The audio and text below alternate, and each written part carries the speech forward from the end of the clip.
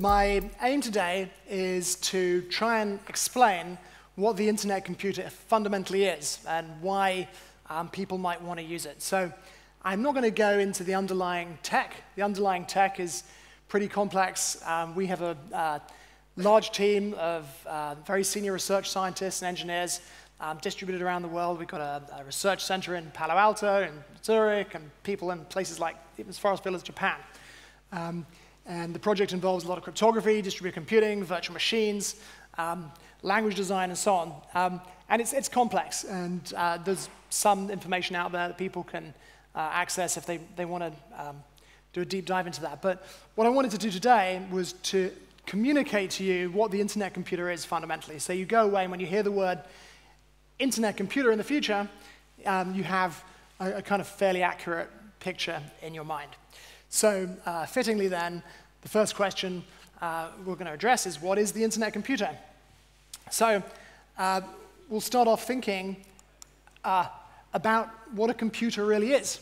Um, you know, you can, you can define a computer mathematically, right? So a computer, in essence, is essentially a virtual thing.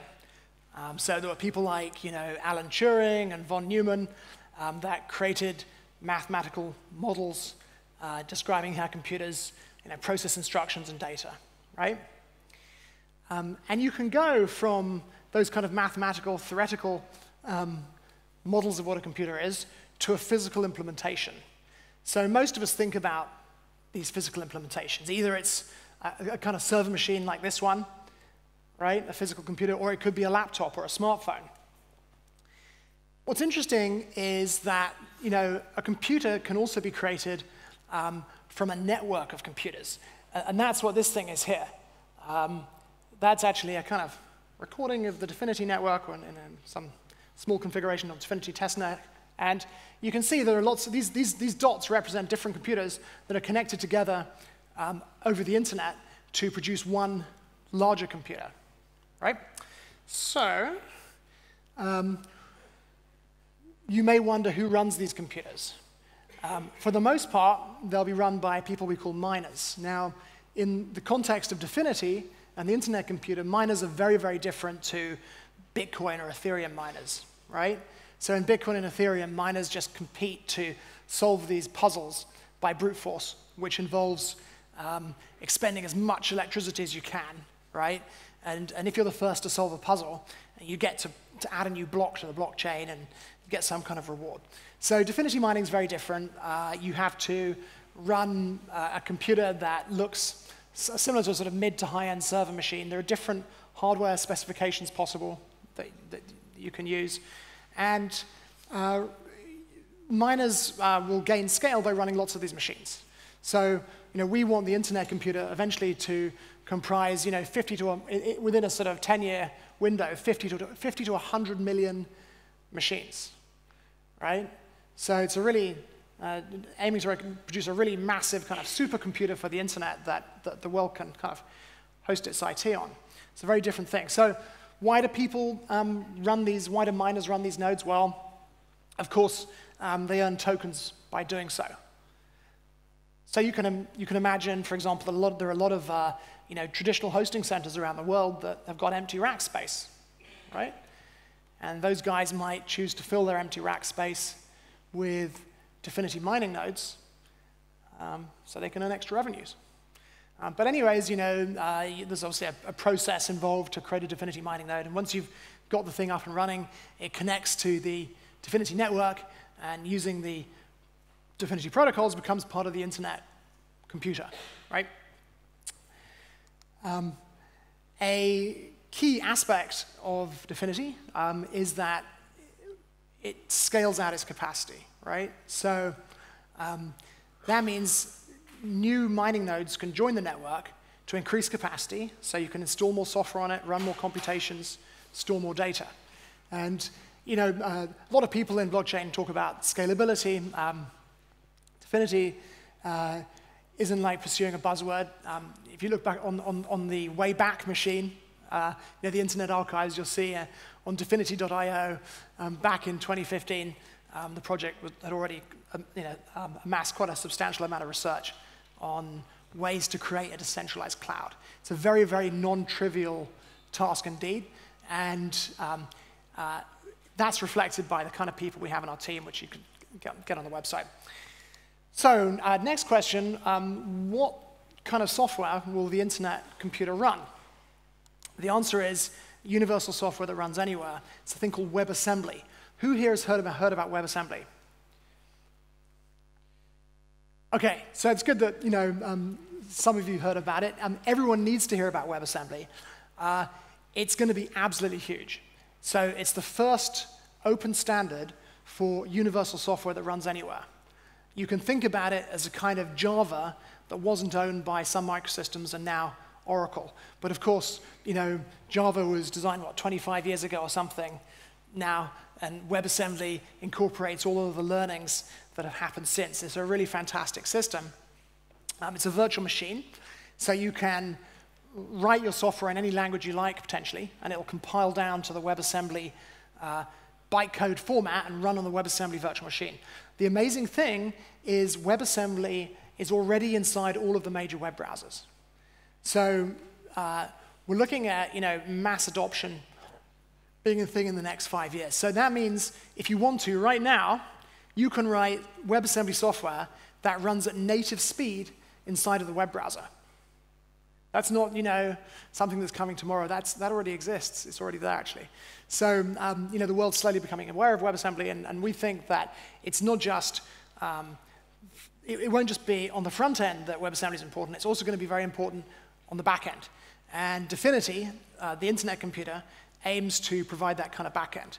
So if you like, you know, this is about creating an open standard for software that runs anywhere, and that'll be present in what already is present in all the major web browsers.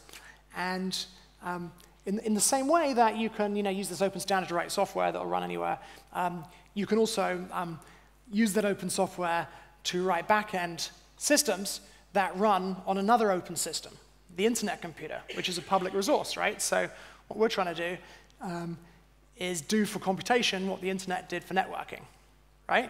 That's why it's called the internet computer. Um, where did Dfinity come from? It's worth looking at this. So, uh, you know, we do have to trace our history through Bitcoin and Ethereum. Um, you know, uh, I wouldn't define Dfinity as a blockchain project, although you get all of the properties of a blockchain. Um, but it's a decentralized computing network for sure, and it's a special kind of decentralized computing network. So what was remarkable, about Bitcoin wasn't that it was a decentralized network. We already had decentralized networks. We had BitTorrent, for example, right, for file sharing. What made Bitcoin different was that although it was a decentralized network, everybody um, could share a, con a, a consistent view of a state, in this case, a ledger, right? When you went onto the you know, the BitTorrent network, yeah, you could search for files and things like that, but you know, your interactions were kind of limited to whoever you were downloading a file from. The difference with Bitcoin was there was a shared state, and the shared state was a ledger, right? A very simple kind of spreadsheet with three columns. In the first column, you have address, right, like a bank account. In the second column, you have a balance of Bitcoins at that address. And in the third column, you have an access control script. And if you can unlock the access control script on one of these rows, you can move the bitcoins to a new address. Really a very simple thing. But what was so remarkable uh, about what Nakamoto did is that you know, no matter how big this you know, decentralized network became, everybody could uh, you know, share this view, shared the same view of this ledger, right? So you know, if I um, transferred some bitcoins to somebody, everybody else would agree on the network that I also transferred those bitcoins to that person, right? And that was a remarkable advance because it was, you know, done in the absence of any kind of central controller. Um, Ethereum um, realized that the shared state um, this, you know, this shared state, this, this shared ledger could be greatly improved upon. And Vitalik wanted to add an enormous amount of programmability. So he drew on uh, the existing concept of smart contracts. And now you could upload smart contracts to a decentralized network. and they could have functions and things like that. Essentially, they're software. And you can call those functions, and the smart contracts have state data associated with them. So we're sort of on the road, really, to what Dfinity's uh, trying to produce, which is sort of internet supercomputer. So the difference between um, Ethereum and Dfinity is that Dfinity uh, uses a lot of new cryptography and other techniques to greatly improve performance, um, scale out capacity, uh, provide a much simpler programming model, um, which is based around this thing called WebAssembly, we just mentioned. And it also has a governance system, so it's not the code is law. So, what is the purpose of the internet computer? Okay, it runs, you know, it hosts and runs software and, right, that stores data and so on. That's kind of obviously useful. But uh, more specifically, you know, uh, we want to upload to cyberspace software, data, computation, and money, right? And it, and it is uploading it to cyberspace because, you know, um, yes, okay, it's the internet computer, but it, it's not really a, com a com computer in the way that we conceive of a physical computer. It doesn't have a location. If somebody says to you, where is the internet computer? The only answer is cyberspace. The, the internet computer is a virtual thing. It's created by the interactions of all these other computers distributed around the world. So the internet computer doesn't have a geography. Doesn't, you can't say, oh, the internet computer's in Australia or the internet computer's in Switzerland. No, the internet computer's in cyberspace. So there's this idea that you know, we can upload software and data and money and computation into cyberspace. Like the internet itself can uh, perform the role that you know, things like Amazon Web Services currently do. So um, we won't go through all of these things in detail because there's not that much time, but uh, we're going we're gonna focus on decentralized internet services. But just, just quickly, um, you know, uh, we can host private software systems. So uh, one of the reasons for doing that is uh, we can reduce the cost of R&D. We've got a new, new, new software development model, right? And the systems on the internet computer can be hack-proof, right? There's no like backdoor into the internet computer. And we can uh, provide ways of preserving privacy using advanced cryptography, so you can put data in crypto lockboxes and things like that. So yeah, people, people, we hope, will build systems on the internet computer rather than using the traditional technology stack, which is you know, databases and web servers and middleware servers and firewalls and things like that. With the internet computer, you don't need all that stuff, right? The, the, the platform's intrinsically secure. It's hack-proof. You don't need a firewall, right? So we hope that people will, uh, you know, um, build their private systems on the internet computer. Uh, we also um, can support uh, decentralized business infrastructure. So, you know, there are many industries in the world that want to create shared platforms. Uh, for example, to track the movements of goods and services and allow people to get financing for invoices and things like that. Um, or, you, for example, in America, you can, you know, you can imagine there's lots and lots of different medical com companies, right? Massive medical corporations. And, you know, medical patient information is uh, sort of spread, spread between them all, and it'd be much better to have a single open platform where patient information was stored. Um, so we can support shared industry platforms. Uh, decentralized internet services, uh, where we'll look at a quick example. So this is where it gets really interesting. So these decentralized systems support a new kind of software called autonomous software. And that means the software can exist independently of some person or organization. So typically today, let's say you wanted to create a dating app. You would get a contract with Amazon Web Services, and you would install some, you know, you'd create your systems on EC2 instances or something like that. And, you know, if you stop paying Amazon Web Services, all of those systems would just disappear, right? Pretty quickly, they'd turn off your servers. Um, and also, you know, you're subject to regulation and all kinds of things, and you control the data, you know, that, you control the data. And there are lots of problems with that, by the way. I mean, you know, there are, there are hundreds of millions of users now of, of these uh, online, you know, or like dating apps, right? And we've all heard of Ashley Madison, but there hasn't been a really, you know, one of the big ones hasn't got hacked. But I think a lot of people are probably unaware that that's going to happen, or very likely to happen. You know, if one of these uh, big dating apps makes one misconfiguration error, on their network, or they have one disgruntled employee, that's all it takes. And that huge database of chats, and, and hugely embarrassing chats, right, sometimes, is going to be on the internet. And um, you know, if you're unlucky, it'll just be there permanently for the lulls, and everyone will be able to sort of you know, entertain themselves looking at each other's chats, or it'll, you know, the hacker will say, hey, you can delete your embarrassing chats for a Bitcoin or something like that. Um, but, you know, clearly that, that, that's an issue, right? That kind of thing is an issue. Um, so uh, imagine a different world where you can reinvent internet services uh, as open source businesses. And that means that you implement the internet service using autonomous software that runs independently of any person or organization. There's no Amazon, there's no account holder, there's no central server, right? And this autonomous software would have an inbuilt, inbuilt governance system. So you tokenize the service, and the governance system would be operated by uh, people, token holders, right? And via this governance system, the service would update its software and improve over time, right? In a kind of open source equivalent of the open source software develop development process, right? Except now the actual business itself is open source, right?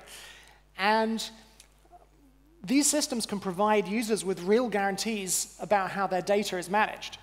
So the Internet computer will provide a kind of crypto lockbox um, technology that makes it possible for a system like a, you know, a dating app which has all these embarrassing chats that the, you know, the, where the creators of the content don't want their information shared widely. They can keep, the, the sensitive data can be kept in a crypto lockbox, right? Which is inaccessible to human beings, but which can still run software algorithms inside, right? So in the case of a dating app, you can imagine that you'd want algorithms to scan through the chat database looking for keywords so it can tag users and match them, right? So using this autonomous software, you can create a kind of open source internet service where some of the data is actually protected by crypto lockbox functionality that guarantees it's inaccessible to human beings, but which allows software algorithms for example, that analyzes the content of the chats in order to match people, can still run inside. So, um, you know, hopefully you can see that has a lot of potential. And I also believe that um, going forwards, once uh, these open computation platforms take root, um, entrepreneurs and innovators are going to want to build on them to avoid what's known as platform risk. Platform risk occurs when you build a startup on somebody else's API. I'll give you an example. It can even happen to big companies. If you think of Zynga, the social games company, um, they created this game called Farmville, like I'm sure most, most, most of you are aware of. And they grew and they IPO'd. I think they're worth about 5 billion. Going gangbusters. And then Facebook decided, hey, you know, I think we should change the way social games promote themselves, right? And the rug was just taken out from underneath Zynga. And, you know, they were a pretty powerful organization, you know, lots of investors worth billions of dollars, but they couldn't stop Facebook from pulling the rug from underneath them.